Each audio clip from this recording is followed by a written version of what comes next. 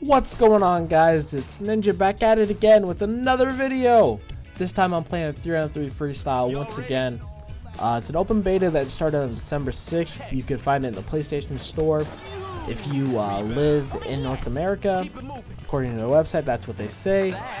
Um, as you can tell by the video, this is my review. I'll have a link to my live stream below if you'd like to watch me play more footage of it. I got about two and a half hours of footage of it, so you can truly check on it and see if it's really worth it for your opinion. Give me more gameplay to decide. Um, it's a pretty fun game, guys. It obviously will not compete in rival with 2K. It won't even have a shot if that's what you're looking for. A game that will rival 2K or NBA Live for that factor. Wouldn't even wouldn't even match up against NBA Live and give them a fair chance. Not even close. But yeah, it's just a real fun, goofy game. Uh, it's just about two and a half gigabytes to download right now. So go ahead and just um, download it. It's in the PlayStation Store if you have the opportunity to. It's really fun. Um, there's obviously some flaws to it as it is a beta. Um, animation is kind of below par. They need to fix some of that stuff, like the rebounding. Um, the steal system kind of sucks. The sprint's awful. Everyone sprints at the same speed. I don't really like that at all. As a guard, I should be able to run faster than big men, but as a big man, I can run as fast as guards. So, blow up perspective in that situation. But overall, it should be fixed. There should be advantages and disadvantages to all the players. They're all pretty much the same thing. Except for Lulu. Lulu and Big Dog are insane. Big Dog can catch boards at any moment. Big Dog can finish down low like it's nobody's business. Lulu's got a pretty mean mid uh, mid range. You just got to keep shooting and hope for the best. As the shooting in this game is pretty awful. You just got to keep shooting and hope that you make them. But she's got a pretty good chance to comparison to other players. Her down, her um, her game in the post is all right as well. I personally don't post up with her. What I do is uh, I bring the ball outside the paint, just right outside it, hit circle, which is the drive button, which makes your person do a move, which finds you a little bit of separation, some free space to go into the hoop. So there's little tips and tricks for you. If you're starting out, play with Lulu. Highly recommend it. But back on the review, what I do like is that red bar right there that like prevents me from going inside towards the paint. I like that from an offensive standpoint because it gives us a chance to set something up. I like that from a defensive standpoint because there's not a chance they can catch us off guard right away. In addition to that, um, I believe they should shorten the shot clock. 24 seconds is a long time for half-court basketball, half-court 3-on-3 basketball.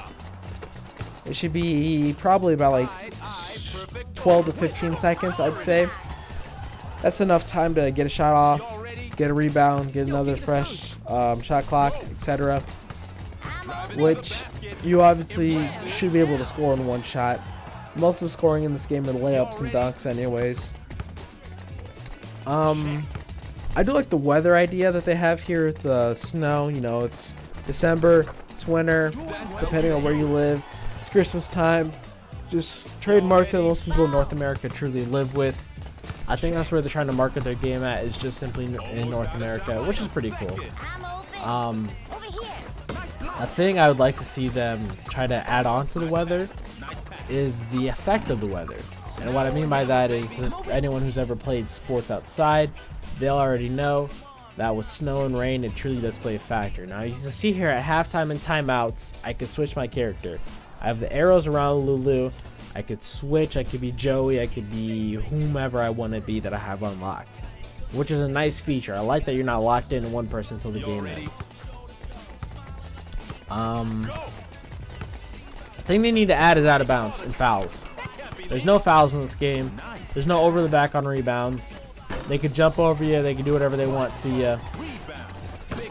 Um, there used to be reaching fouls because people just have the tendency to smash the, the steal button. Even though the steal button doesn't do much for you. It's a really awful animation. The only way you can really steal the ball in that situation is if they're standing still. If they're dribbling, you can't really steal it. Unless you run into them and the person falls. Excuse me. As that happened there, as you see my character got, oh, my teammate got ran into and she lost the ball. Don't play as the point guard. She's easy to steal from. She doesn't really do much to contribute to help the team. Plays as shooting guards, small forward, power forward, and if you're comfortable playing with big dog, plays big dog. But as you see, Big Dog's not expecting me to shoot the ball, so he's just playing down low. So you got to mix it up a little bit, guys. Even if you know you're not going to make the shot, which you won't, most of the time you will not make it because the shooting in this game is that bad. You got to take it to mix it up a little bit. Just a little basketball tip for you there. A little IQ for you. Gotta mix it up a little bit. Can't be too one-sided in your offensive game.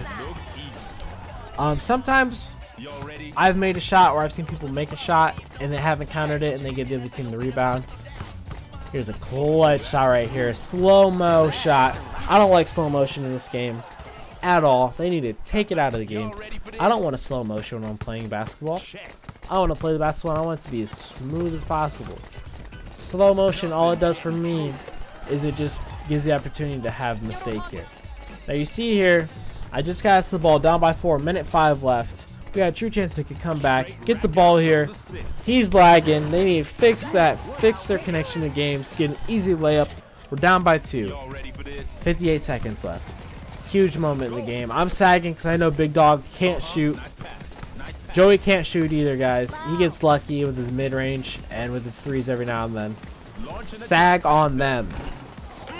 Get the rebound. Try to kick the ball somewhere. Kick the ball to Joey. 40 seconds left. Joey kicks it to our point guard. And she runs into nothing and loses the ball. They need to fix that animation. We lose the ball. I can test the shot. Doesn't matter. It goes in. 29 seconds left. Down by four. Very heated. We should win this game, but our point guard blew it for us. You see me go into the hoop. Joey takes it himself. Gets blocked. Ball freezes in the air. Not because of the weather. Freezes just simply because bad animation. So we're down now, wasting some more time. She eventually pulls up for a jumper, contested as fuck, somehow still falls in. Down by two, 10 seconds left. We need a miracle. We need something. We need them to take a quick shot. We need a steal. We need something. And what do they do? They feed down the big dog. I'm doing the best I can. Like I said, he's got the mismatch size-wise. Shot doesn't drop, and we lose. One more thing they need to do is, as you see I'm the MVP here, I shouldn't be. I'm going to take it anyways. Lulu a dog, but your MVP should go to your winning team, like it is in real sports.